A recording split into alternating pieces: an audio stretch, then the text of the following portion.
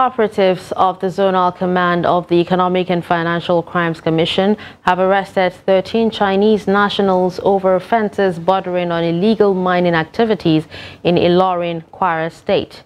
The offence is contrary to and punishable under Sections 1, subsection 8b of the Miscellaneous Offences Act, Cap M17, 1983.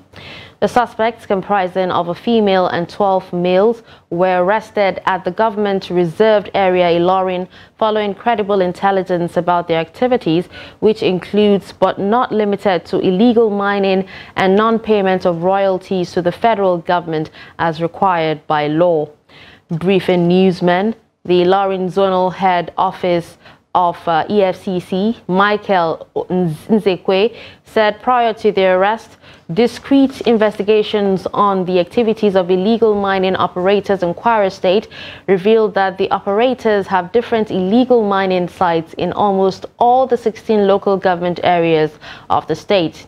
The suspects were arrested at a house near their office for illegal production of marbles and were arrested uh, we arrested some illegal miners, some Chinese national. Uh, we got uh, some credible uh, intelligence, and then we've been on uh, surveillance for a while, and then we were able to uh, move in, and then we have them with us.